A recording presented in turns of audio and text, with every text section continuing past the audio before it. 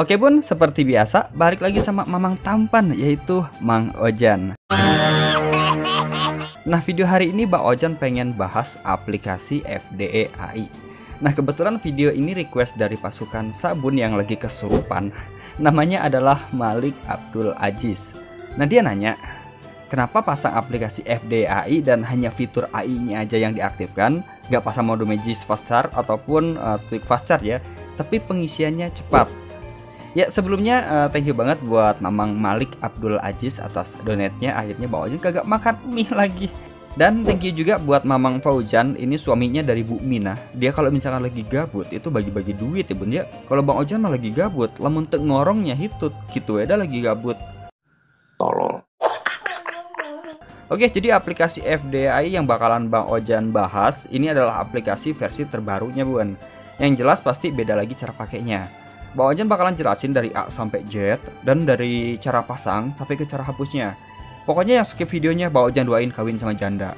Nah, jadi gini bun, aplikasi FDE AI itu ada dua cara settingnya, setting manual dan setting auto atau biasa disebut dengan mode AI. Kalau misalkan kita menggunakan mode manual, kita bisa atur aplikasi FDE sesuai yang kita mau. Misalkan nih, mau kita rubah menjadi power save, atau mau kita rubah menjadi balance atau mungkin performance. Nah, sedangkan untuk mode AI sendiri itu diatur sesuai dengan penggunaan HP Androidnya. Misalkan nih, HP Android kalian itu lagi nggak dipakai atau mungkin lagi ditaruh lah atau nggak diapa-apain. Nah, mode itu bakalan pindah sendiri ke mode power save. Terus tiba-tiba nih kalian pengen bermain game. Nah, pas kalian buka game, maka mode akan berubah menjadi performance.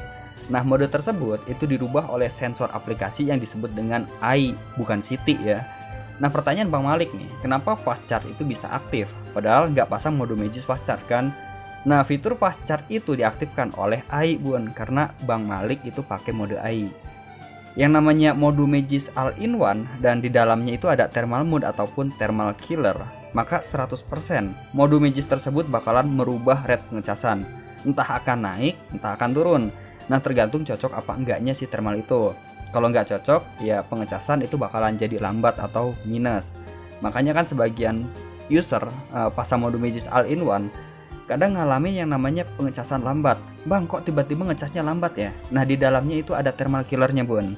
Bang, kalau misalkan HP-nya nggak support fast charge gimana? Kalau misalkan HP-nya kagak support fast charge, ya nggak gimana-gimana. Namanya nggak support ya nggak mungkin ngisi jadi cepet, Bun. Nah, untuk aplikasi FDAI yang versi terbaru ini sudah banyak yang ditambahkan, Bun. Ya, terutama di segi FPS dan penghematan baterai. Ya, contohnya peningkatan performa dari aplikasi, terus thermal control, dan bagusnya sudah mendukung Android 13.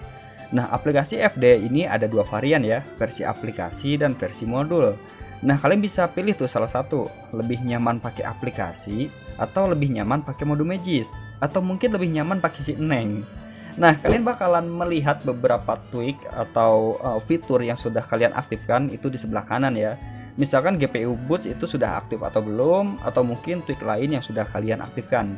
Nah, aplikasi FDI ini masih menggunakan 4 mode ya, masih sama aja kayak versi sebelumnya bun, yaitu mode power save, terus mode balance, terus mode balance plus. Nah, mode balance plus ini mode balance tapi agak naik dikit. Dan yang terakhir adalah mode performance. Nah di bagian extra eye setting itu ada yang pengen bawa Ojan jelasin. Nah di sini kan ada fitur disable eye dan disable all FD tweak. Nah bedanya apa bang? Nah disable eye itu artinya kalian mematikan sensor eye otomatis. Kalau misalkan kalian nyalakan, diaktifkan ya, aplikasi FDI itu cuma optimasi satu kali aja dan selanjutnya akan offline. Nah, sedangkan jika kalian nyalakan disable all FDE tweak atau kalian centang, maka sensor optimasi itu bakalan tetap aktif, tapi tanpa menjalankan tweaknya. Mang, yang disebut sensor AI itu apa? Jadi sensor AI itu adalah mode. Misalkan kalian nyalakan nih disable AI, maka kalian nggak akan bisa memilih mode, ya karena AI dimatikan. Jadi itulah bedanya disable AI dan disable all FD tweak. Mode dan tweak itu berbeda. Oh iya mang, gimana cara setting aplikasi FDAI? Nah, cara setting aplikasi FDAI itu cukup kalian pilih aja modenya dari mode power save sampai ke performance. Dan pastiin ya, disable AI dan disable all FDA tweak itu dalam keadaan off atau tidak dicentang. Kalau masalah tweak tambahannya itu tergantung selera kalian ya. Karena settingan HP Android itu kan berbeda-beda. Ada yang RAM-nya 3 GB, ada yang RAM-nya 6 GB, ada yang pakai Android 11, ada yang kernelnya sudah support 90 Hz, ada yang pengen pakai shortcut dan masih banyak lagi. Intinya yang wajib kalian aktifkan adalah mode, terus uh, thermal throttling itu set ke angka 49 ya. Dan yang terakhir adalah analisa aplikasi. Kalau misalkan masalah fitur uh, charging bypass ataupun hapus aplikasi latar belakang itu tergantung kenyamanan kalian. Intinya sih pahami karakter HP kalian, pengennya kayak gimana. Lagian Bang Ojang udah banyak banget tuh share settingan aplikasi FDAI. Linknya bisa kalian klik aja di kolom deskripsi. Pokoknya penjelasan paling lengkap bun. Dan satu lagi, kalau misalkan kalian pengen reset setelan atau pengen hapus aplikasi FDAI dan nggak mau ada yang nyangkut, karena sesuatu yang nyangkut itu getek pun. Kalian bisa buka order setting. Nah, selanjutnya gulir aja ke urutan yang paling bawah. Nah, di sini kan ada tulisan reset all FDAI setting. Nah, cukup kalian pencet aja, maka semua settingan yang sudah kalian rubah itu bakalan balik ke semula.